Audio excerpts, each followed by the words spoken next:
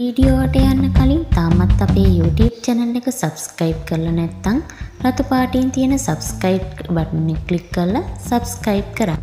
රට තුළ පැවති ආර්ථික අර්බුදය හමුවේ ජනතාව සියලු දෙනා එක්ක එක්වී ජනපතිට විරුද්ධව හා ආණ්ඩුවට එරෙහිව අරගලයක නිරත වෙනවා. ගෝල්පේස් පිටිය තුළ පැවැත්වෙන මෙම අරගලයට අදට දින තුනයි.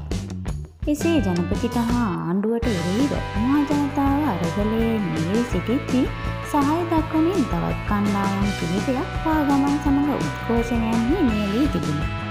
ඒ අනුව රජයට පක්ෂව හා විපක්ෂව විවිධ උද්ඝෝෂණ පැවැත්තිමින් තිබුණ. රජයට පක්ෂව කණ්ඩායම් විසින් අන්ඩාධපුර ප්‍රදේශයේ හැඳ තිබූ සටහනක් මෙන්න මේ ආකාරයට පල කරලා තිබුණා. අන්ඩාධපුර ප්‍රදේශයේ තැනින් තැන පුන්නක්කු හා තනකොළ තබමින් විරෝධය පළ කර තිබුණේ මෙන්න මේ ආකාරයටයි. එහිදී පළගල්ලා තිබූ බැනරකි තිබුණේ මෙන්න මේ විදිහට. දන්සලා. ඉතිරි වී ඇති ගව සම්පතට. අන්ඩාධපුර තරුණ කැල්.